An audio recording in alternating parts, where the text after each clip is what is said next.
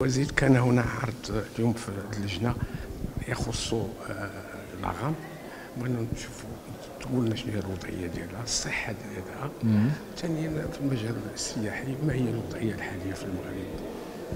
هو اليوم كان آه، عرض أمام اللجنة ديال المراقبة ديال المالية العامة.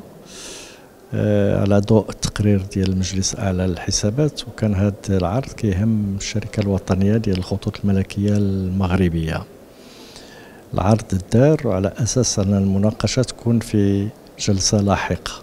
بالنسبة للشركة الصحة ديالها هي جيدة؟ لا- لا بأس. المداخيل هي؟ ما اليوم الشركة عملت هذه السنة 7.5 مليون 7.5 مليون مسافر اللي هو رقم قياسي بالنسبة ل- ل- لعدد رقم المعاملات ديالها وهي في في صحة جيدة ولكن تحتاج لدعم لتطوير الدعم ديال الدولة؟ لدعم ديال الدولة لتطوير الأسطول ديالها باش تكون في ال في ال في المستوى ديال التحديات اللي هي على عاتقها.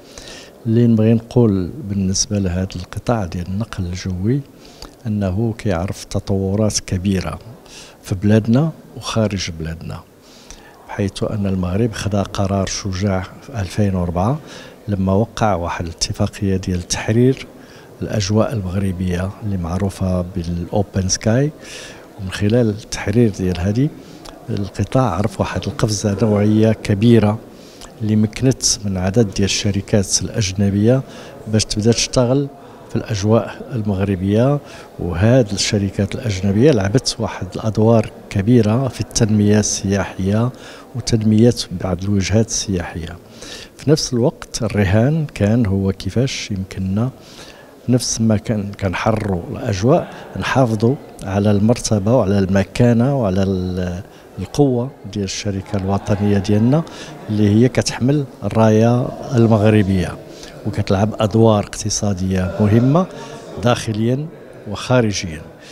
فهذه التطورات الكبرى كتطلب واحد المواكبة ديال الدولة مواكبة كذلك ديال الأجهزة المختلفة التشريعية والتنفيذية لتمكين الشركة ديالنا باش يمكن لها تبقى تلعب هذه الأدوار الرائدة ديالها في ظل هذه المنافسة الكبيرة اللي كاينة في قطاع النقل الجوي.